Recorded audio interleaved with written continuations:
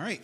Without any further ado, I would like to introduce Karl, who will be talking about us about reverse engineering uh, SCADA networks.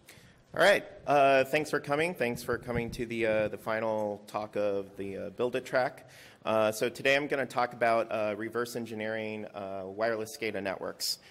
So I'm sure most of you are familiar with what SCADA is, but just in case you aren't, stands for Supervisory Control and Data Acquisition, which is basically just a bunch of fancy words for saying it's you know remote control and monitoring of industrial systems. And these are used in, in a lot of uh, critical infrastructure applications, such as uh, the power grid, uh, water supply, uh, oil and gas lines, things like that.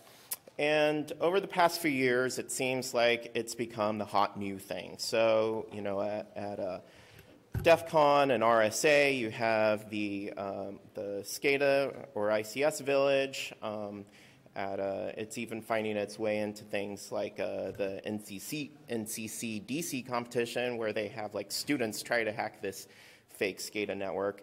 And there's, there's been so many talks submitted on SCADA stuff that uh, even like the, the DEF CON and and Black Hat CFP um, board members are uh, getting pretty tired of it.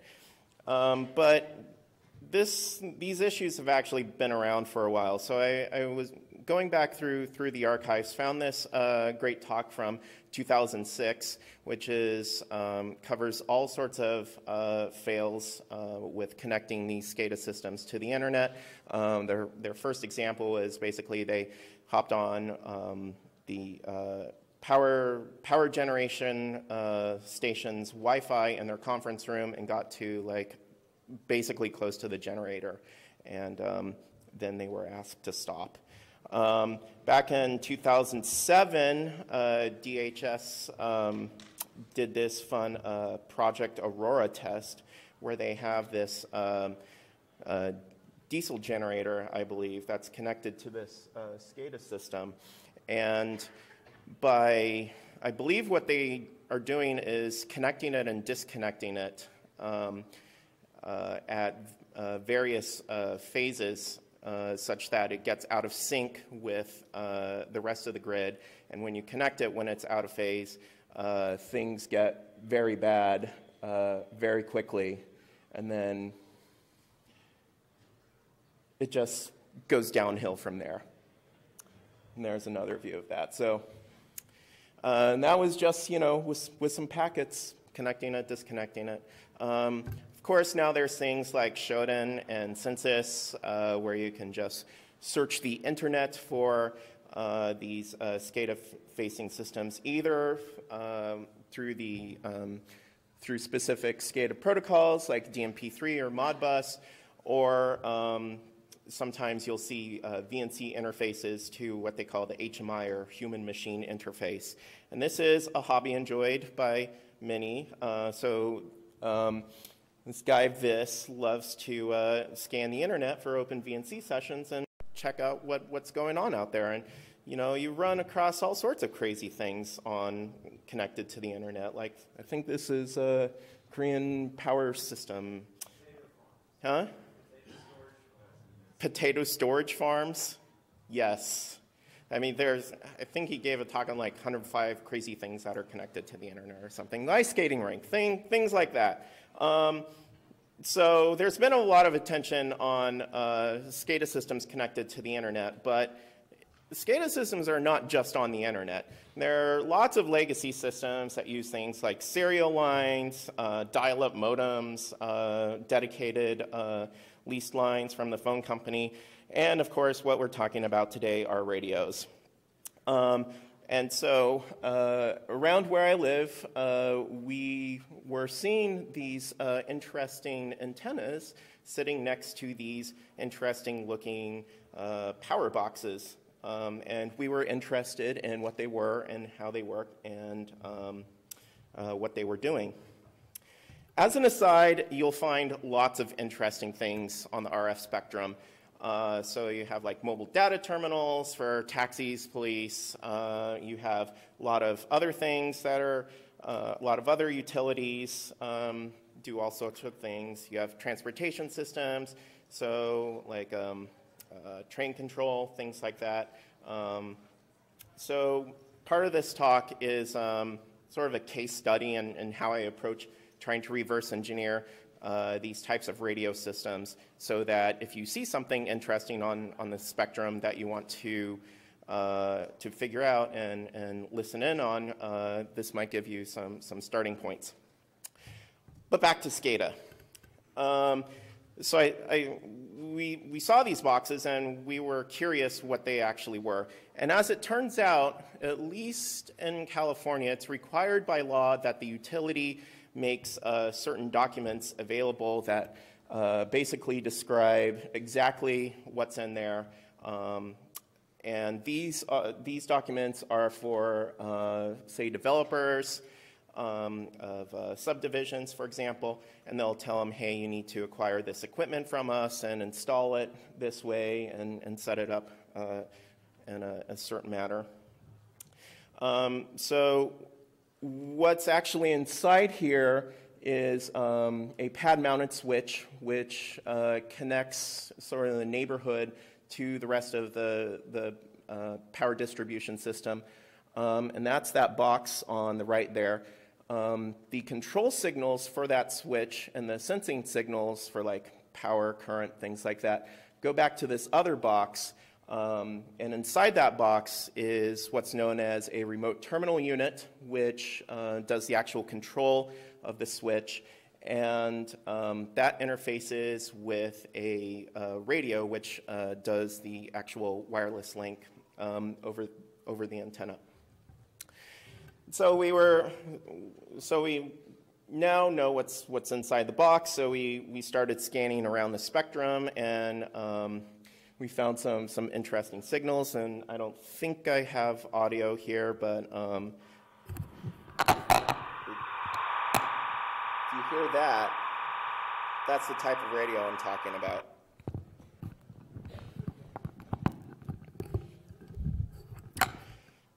Uh, conveniently enough, you can also look up these frequencies in one of my favorite websites, the FCC website.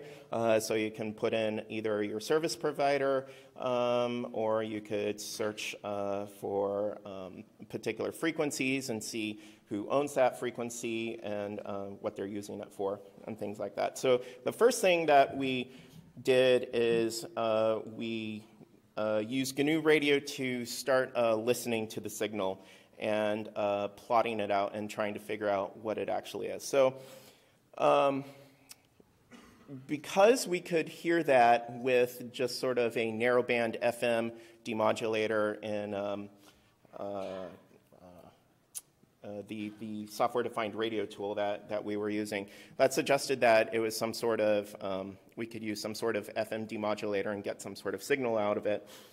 Uh, and so if you just set up a standard FM demodulator and GNU radio and then plot the output, you would see something like this. And this looks very interesting because um, you can sort of see bits there. It looks very digital. Um, but there are some issues here, like what's up with, with those points? Why, why are they sort of in the middle there? It's, it's not like a, a one or a zero. They're sort of just in between and, and doing some weird things. And so we weren't entirely sure how to um, uh, decode this actual signal, so we went back to those documents. And as it turns out, it says um, that the radio is a uh, MDS radio, so we did some searching on uh, what an MDS radio is. Turns out MDS um, is, uh, stands for Microwave Data Systems. They were acquired by General Electric uh, many years ago, and they make uh, radios for all sorts of types of SCADA applications. And so we were hunting through the site and we found what we thought was the radio that was uh, used in this, uh, in this system. And so I went to my other favorite website, which is still the FCC's website, but a different portion of it. Um, and as it turns out, in the US, to, to sell anything that transmits a signal, you have to get an FCC ID and uh, get it uh, approved by the FCC. And for that, you have to submit a boatload of documentation to the FCC, including uh, schematics, theory of operation, uh, internal photos, things like that. Um, and some of it you can uh, request from the FCC's website.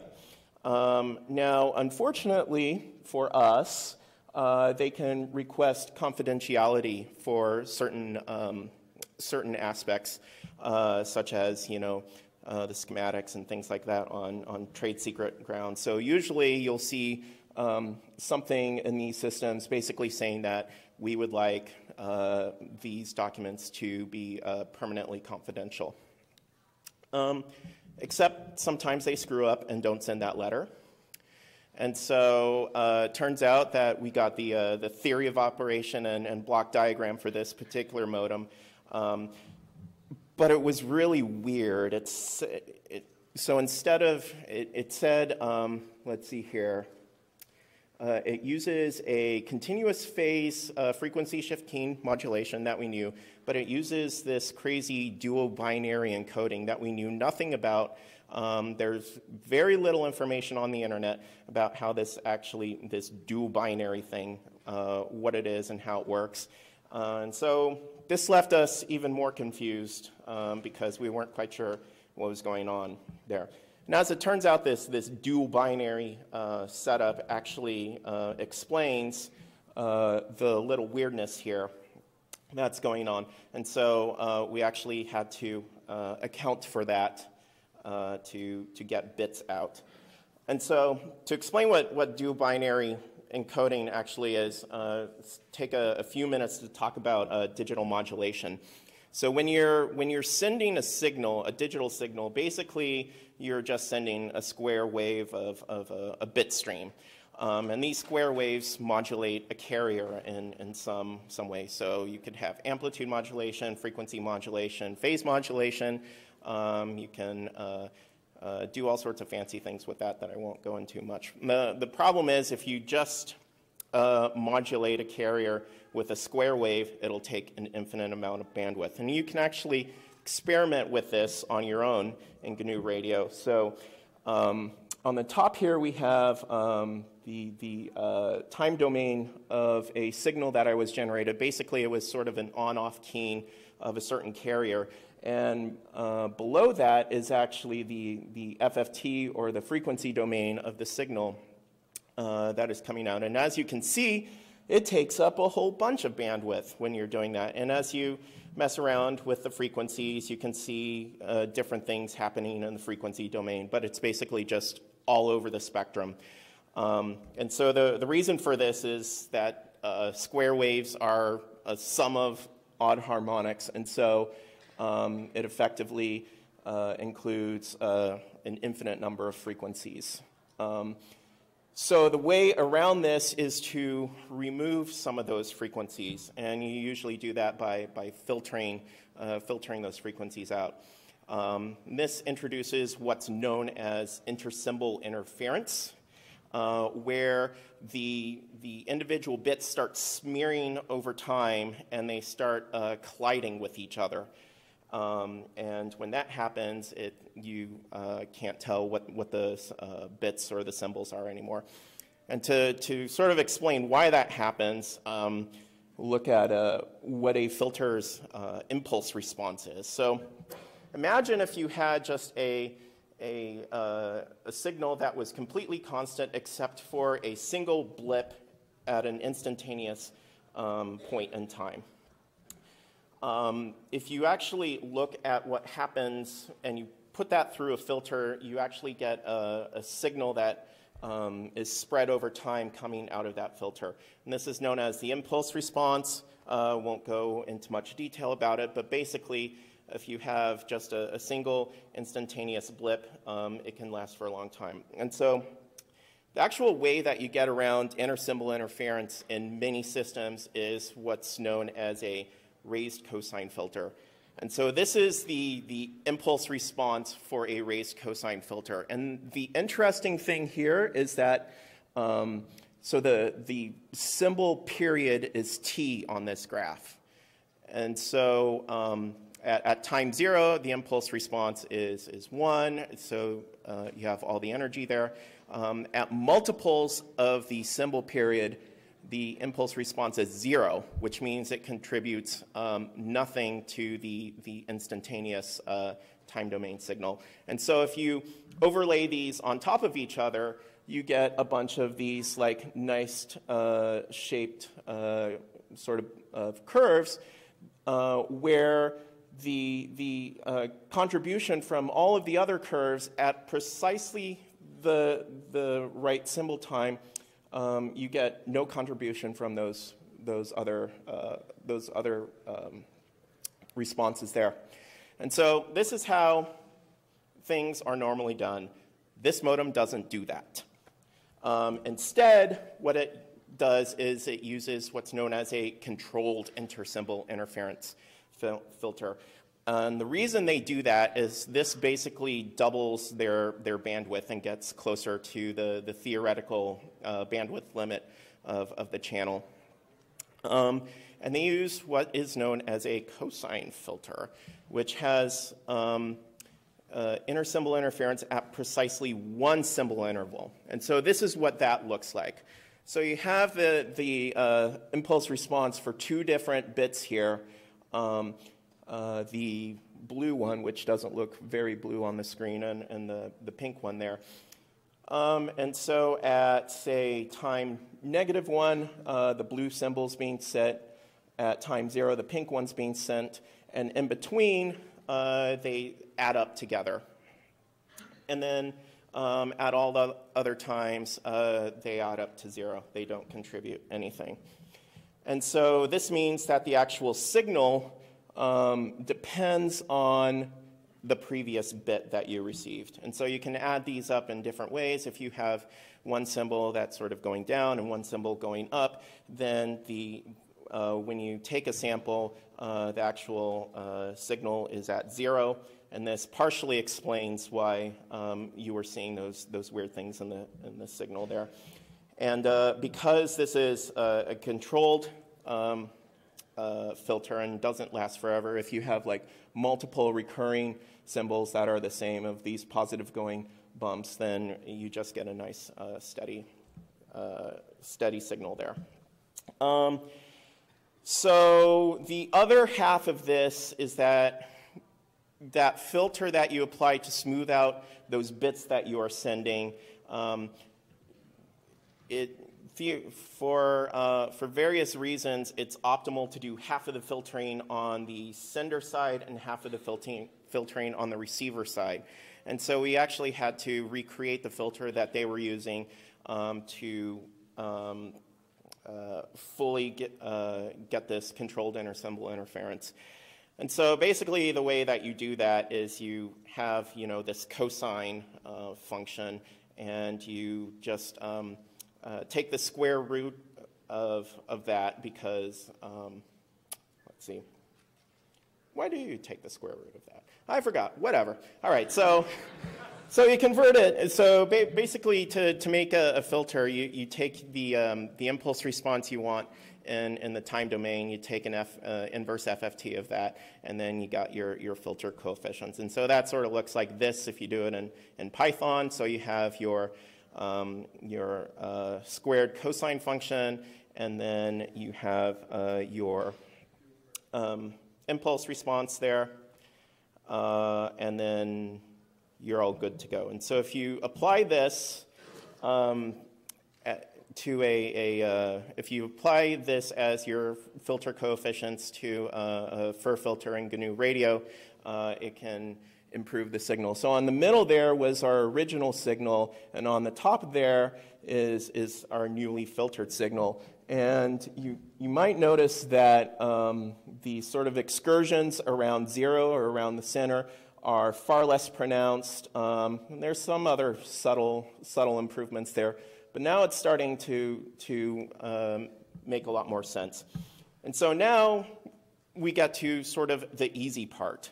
Um, so if you, if you see a, a positive blip, the bit's a 1. If it's uh, a negative blip, uh, the bit is a 0. If it's at 0, then the bit is the opposite of what you last saw. And so you can actually um, start decoding this by hand and coming out with um, a bit stream, and then you can try to reverse engineer that. So it seems, you know, obvious where to sample, either at the peaks or, or at the, the zeros. Um, but I actually tried decoding this by hand and uh, got some weird gibberish out that didn't really make a whole lot of sense. Um, and in fact, it looked pretty random, and so wasn't entirely sure why, why that was happening. Um, the, uh, the FCC documents actually explain some of that, but not a whole lot of that. Um, so for figuring that out, we went to the uh, MDS website. Turns out you can download the firmware for these modems. Um, and these modems, uh, if you look at the internal photos, they, ha- they have two processors. There's an 8-bit microcontroller, and then there's a, uh, a DSP chip that does the uh, modulation and demodulation. Um, and, but there's only one firmware image, and so we had to figure out which bytes belong to uh, which processor. Um, so we had to reverse um, sort of the 8-bit microcontroller that manages the radio to figure out how it loaded code into the DSP. Um, and so we, we isolated what the, um, uh, the, the DSP code was, and then we brought it into IDA, and holy shit, that looks like a mess. So, like, in this architecture, uh, you can have three operations per instruction. And so you see a lot of this here in like the middle where it's doing, you know, whatever MPYR is on, on one oper, on some operands. And then in the, uh, simultaneously, it's doing a data transfer between various registers. And it, it's very messy looking. And we couldn't get our, our heads around it at all. Um, turns out it was an endian issue, so we just swapped the byte orders, and then everything looked a lot cleaner. It was still um, kind of a nightmare to reverse engineer. Um, uh, so we didn't go a whole lot down that route, but um, I'll talk about uh, some things we found uh, in a minute. As it turns out, you can also, once you account for the uh, endianness issue, if you just plot the firmware as a bunch of 24 bit uh, floats, uh, you get something that looks like this, which is very interesting because you see those, those nice um, pulses there that were like the, uh, the um, uh, filter response that we created earlier. So you could actually just avoid doing all this math and extracting, uh, extract it out from the firmware just by visualizing it. Now, there's, there's some complexity in there. You need to know the sample rate and, and things like that. Uh, so it's not quite straightforward. Um, there's a, another part of, of the firmware memory. So it's, it's nice to visualize things. Um, but it, it, was, it was a pain to reverse engineer. So we, we decided that, um, so early on, we, we were going to try to do this uh, completely uh, just by observation and, you know, not cheat and get our hands on an actual modem but we broke down and, and, realized that was probably the most sensible thing to do. So we went to another favorite website of mine, eBay. Turns out you can buy these radios for about 50 bucks off of eBay. Um, now you might say that's not fair. There's no bids on that yet. Uh, you can do a buy it now for 115. They're pretty easy to acquire. And so we got one and we retuned it into the ISM band, so we weren't stomping on any, anyone's licensed frequency. And then we turned the power way down uh, so that we weren't stomping on any uh, ISM uh, systems.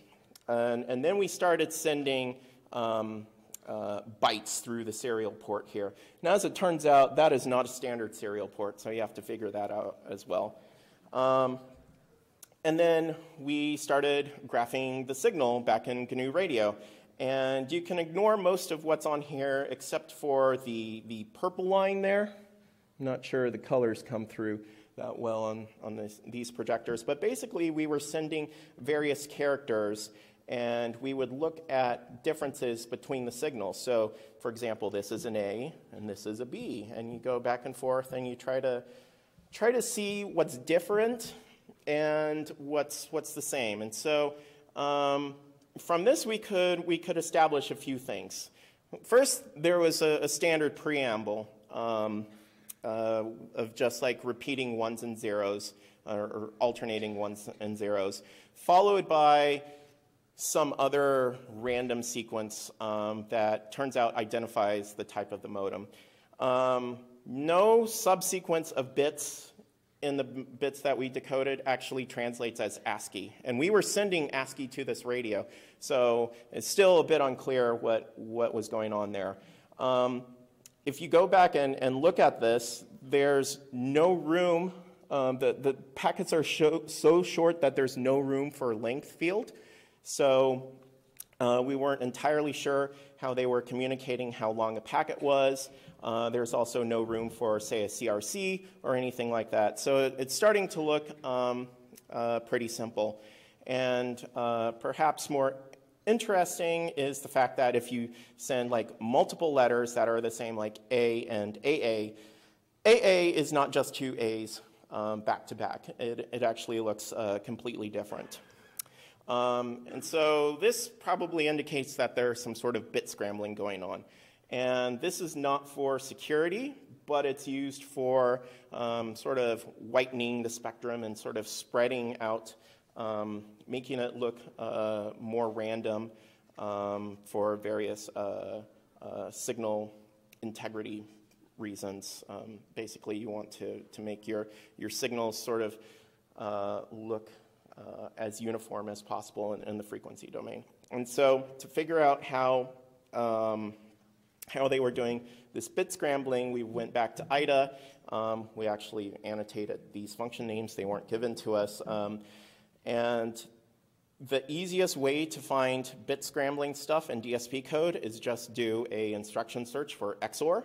It turns out that XOR is not a very common instruction in DSP code, and so when you see it, it's probably either a CRC or a bit scrambler or uh, something that does something interesting with the bit stream.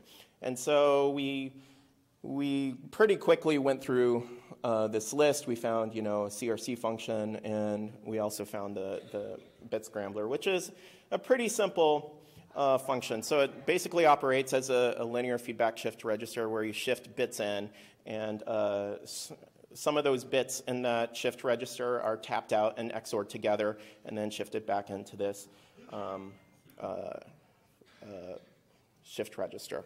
And so uh, we can easily account for this in our software. And once we did that, we started getting ASCII out. And that was very exciting for us because now we can start uh, potentially listening on into uh, these SCADA networks. We found some other interesting things from disassembling this code. So it turns out they say that their baud rate's 9600. Well, it isn't. And that caused us some synchronization issues, um, which was driving me insane. Uh, turns out they have like an off by one error in setting their uh, clock divisor. And so um, it actually transmits at not 9600 but 9618, uh, which is a little weird. Um, the individual characters that they send are not your standard 8 bit characters, but they're actually 9 bit characters, and they use the most significant bit to indicate um, whether it's sort of a, an in band uh, uh, character that should go out the serial port, or it's um, for some sort of out of band management um, turns out you can actually send uh, commands to these radios um, over the same channel as well. Um, and uh, we discovered that there's actually a couple of different types of preambles that uh, would identify the modem, either saying that it's uh, the sort of master station or the, the slave stations. Um, the master stations just pad out their packets with idle characters, and it's one of those special out of band characters that indicates uh, that uh, there's nothing to be transmitted. Well, these slave stations will send a special out of band character saying, I'm turning off my radio, stop listening to me because all you're going to hear is noise, and uh, you'll get garbage trying to decode that. So we wrap this all up in a fun package called GR And so uh, if you uh, uh, clone this from, from GitHub and compile it, uh, then you should be able to uh, uh, use um, our, our work to also listen in on these, these modems and get a, a character stream out. And so that was about the modem. Now I'm going to switch a bit and talk about how the modem is actually used. um, in, in relation with, with uh, these SCADA systems.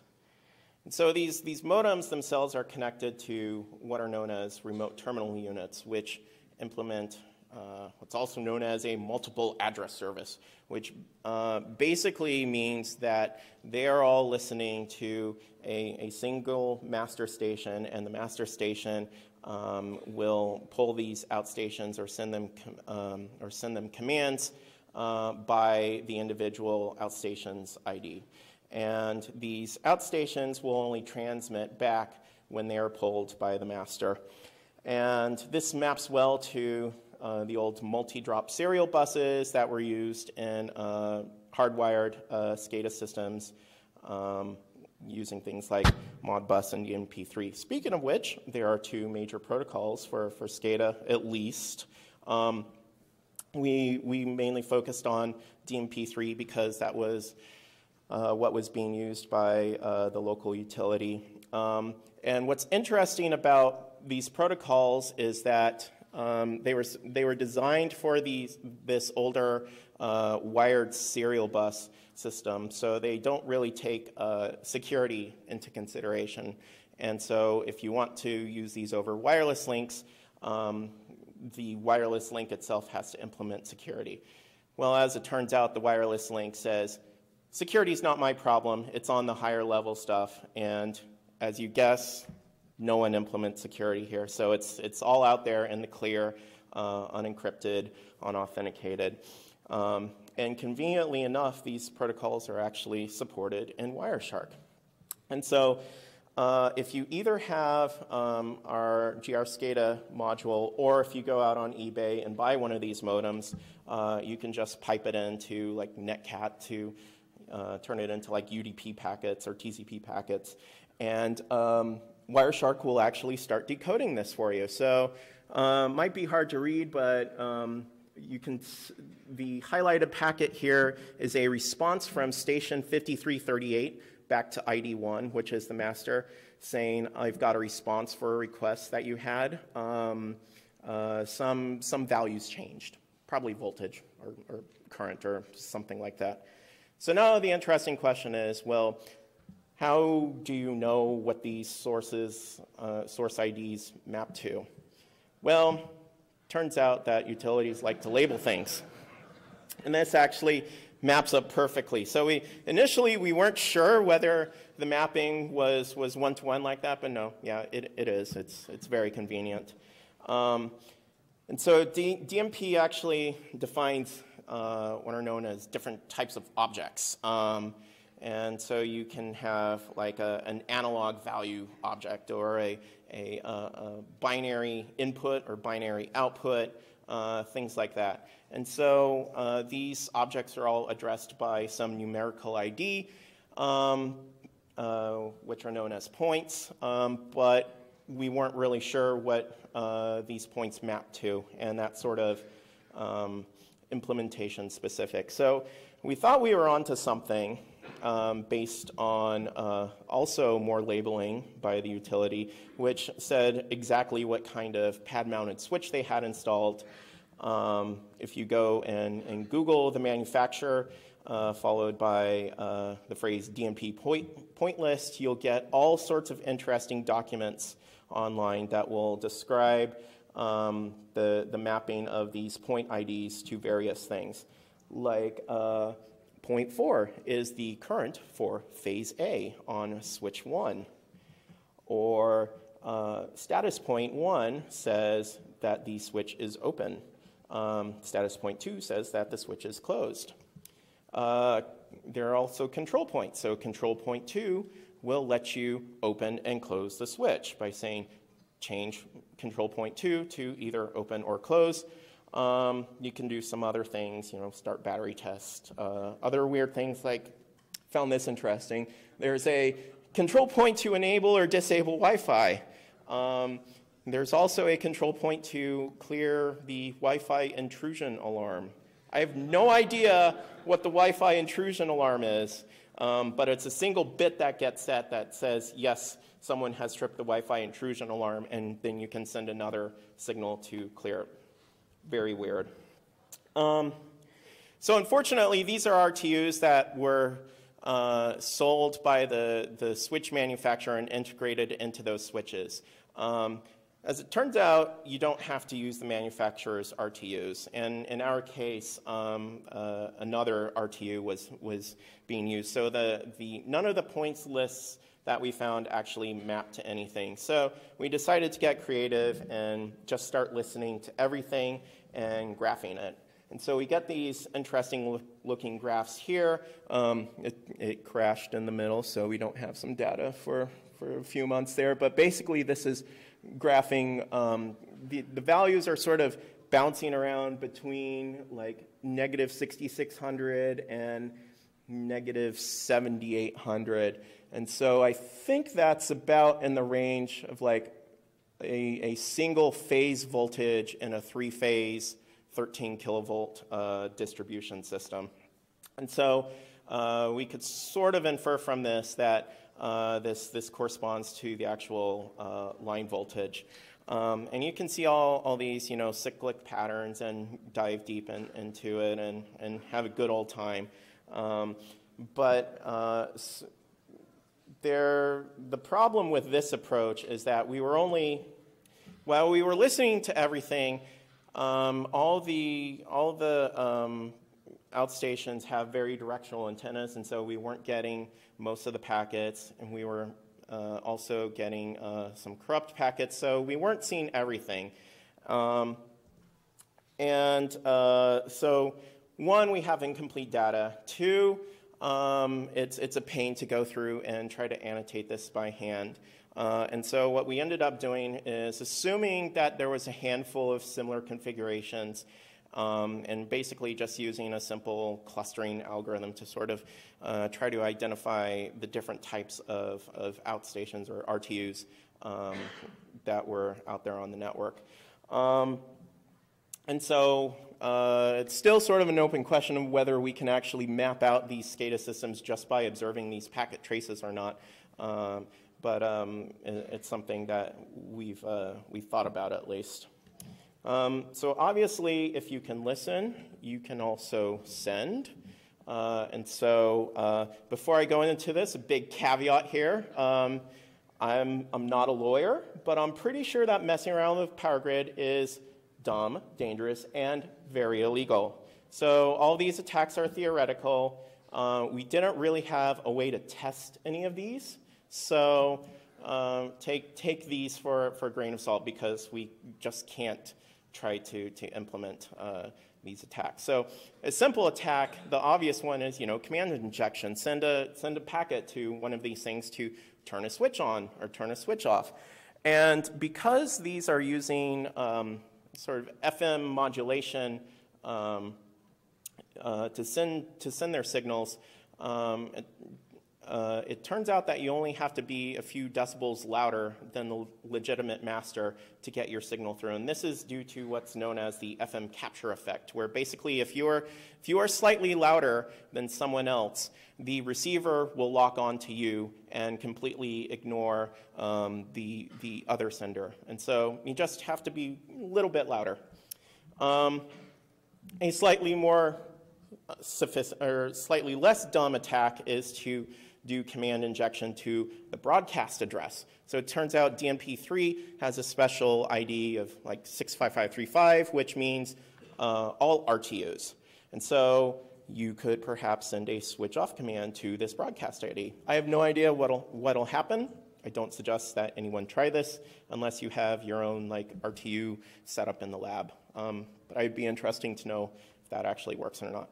Uh, of course, the problem with this is you need to be line of sight with uh, all the stations that you want to affect. This is probably at the master station site. Um, uh, again, you only need to be a little bit louder. Um, and again, I've not verified this. Um, so there, there's still some, some open questions that I have that might be worth looking into. For example, how does the master station get its data? It's on top of a mountain. Well, that's probably another radio link. Um, and uh, turns out utilities have all sorts of radio links. Some, uh, these are like 9600 BPS. I've seen some on the FCC website that are 300 megabits per second. And so that's, that's crazy orders of magnitude larger. Um, not entirely sure what that is, probably like video surveillance or something, but I don't actually know. Um, another in interesting thing that we might look at is um, these out of band characters. So um, these radios, uh, you can manage them over a serial console, but you can also manage them over the air. So could we actually send commands to these radios over the air to retune them and listen in on a different frequency? And then it doesn't matter if the master station is trying to fix things, they're not listening to the master station. Um, and then another thing that we want to try doing is, is mapping out exactly where various things are by, you know, basically doing war driving with some uh, pseudo Doppler radio direction finding thing. Um, and so uh, that's sort of on the back burner. We'll see, we'll see what, what happens. Um, so this is all about breaking uh, these, these SCADA systems. How about fixing it? Well, it, it turns out that utilities are indeed aware of these vulnerabilities. The problem is, is that there seems to be little incentive to, to fix uh, these issues in a reasonable time frame. Um, so these systems that are deployed have like a 30-year uh, lifetime, um, and so if you, um, it's very expensive to go out and, and replace all of this infrastructure in the middle of its life. Um, it's, it's purely a cost for the utilities. Uh, it, you know, changing it will not generate them any more revenue. Um, uh, I believe they are required to do um, sort of a, a, risk assessment and report that to regulators. Um, but I believe that most just say it's an, an acceptable risk. Um, and they're also sort of in a bind because um, turns out that the vendors don't actually think that this is an issue. And so uh, it's very hard to find um, both or either secure radios or secure RTUs. Um, they're, they're just very hard to, to find. Um, and so even if utilities wanted to fix this and had incentives to fix this, I'm not sure they could fix this easily um, until they band together and start pressuring the vendors who make this equipment. So stepping back a bit and looking at the big picture, um, curious, you know, how exactly how pervasive these systems are. Uh, so they're all around uh, my neighborhood and other areas where I've lived. I don't see them at all.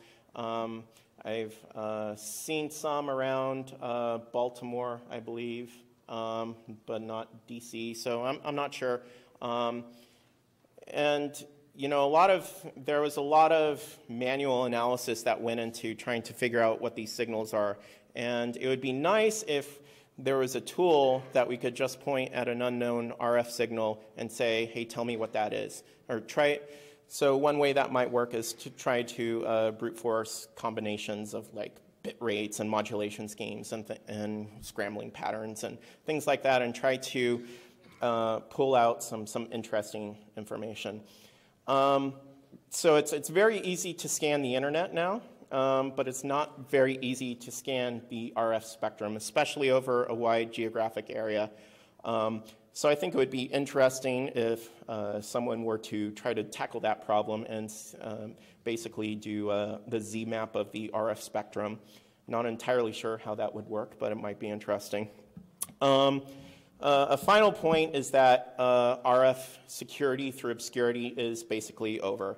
Uh, with GNU radio, you can decode pagers, you can decode G- GSM traffic, uh, you can decode these uh, Project 25 radios, which are sort of the federal standard now for um, uh, official use. Um, you can decode ADSB packets, which is like aircraft locations and things like that. Uh, recently, there's been work on decoding uh, Inmarsat and Iridium satellite messages. And, and so basically, any, anything out there that's not encrypted will probably get listened to uh, sooner rather than later uh, through the magic of, of software defined radio. Um, so to to uh, wrap up, um, basically, the, despite major attention on uh, uh, SCADA security over the years, there's still critical infrastructure that is exposed over these non-IP channels. Um, when you're evaluating the security of a system, uh, you sort of have to look at it holistically. Don't rely on other layers to provide security for you. Uh, don't just focus on, on IP. And again, uh, RF security through obscurity, I believe, is, is over. So, with that, I'd like to uh, thank you for your attention, and I believe we have a few minutes for questions.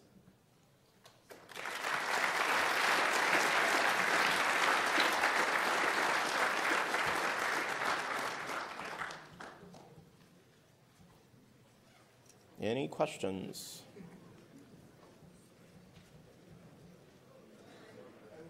Oh.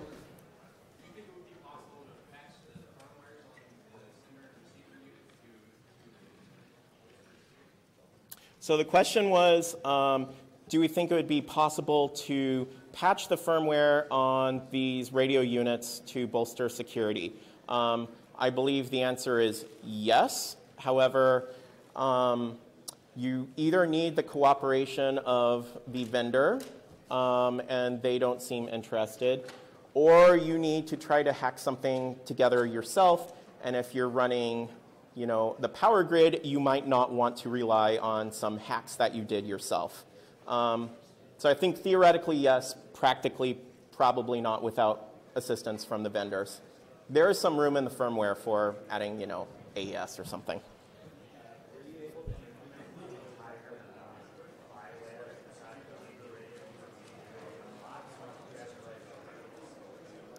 Or did I have to write what?